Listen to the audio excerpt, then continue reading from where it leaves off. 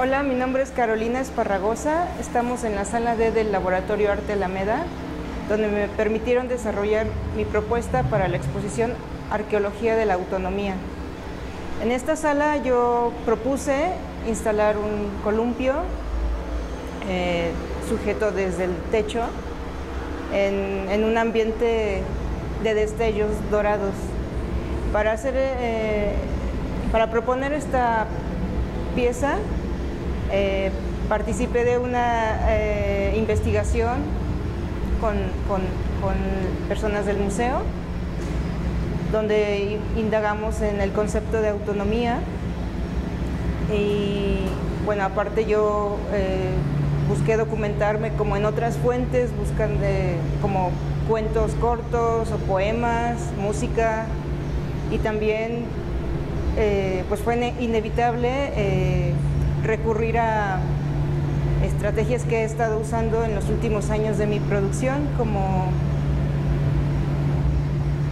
un poco mecanismos, juguetes, objetos que son considerados juguetes, objetos que son considerados infantiles.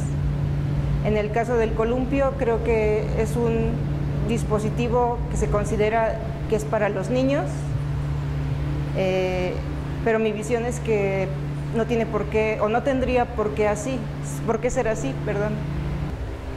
Y en este caso, para mí es muy importante incluir, involucrar al cuerpo, el cuerpo, nuestro cuerpo, que tal parece que ha sido excluido del, aula, de la escuela, utilizarlo como para aprender, para adquirir conocimiento. Cuando nosotros fuimos niños y jugamos con un columpio, tuvimos que aprender a usar nuestro cuerpo, así como aprendimos en algún momento a caminar, pero en el columpio aprendimos a despegar los pies del piso y a ir y venir por nosotros mismos.